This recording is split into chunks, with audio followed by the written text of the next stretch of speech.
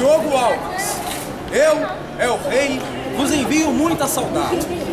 Eu, Oramando Tomé de Souza, fidalgo da minha casa, a esta Bahia de Todos os Santos. A história nos permite viajar para diferentes períodos da vida humana e conhecer o passado.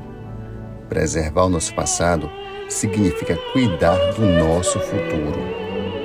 Ao longo de 15 anos, o Museu Vivo na Cidade preserva a memória histórica do Brasil através de ações artísticas e culturais, tendo como principal público o estudantil. Sim, senhor! Meu senhor! Já acompanho o Museu Vivo há muitos anos e sempre eu faço esse pedido deles é, enriquecerem as aulas que eu faço em sala de aula.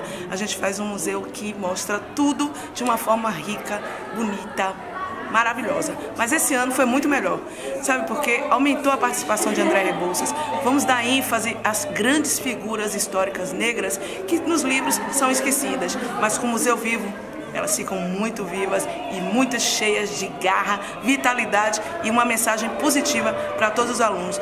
Eu recomendo sempre e para sempre Museu Vivo no meu coração.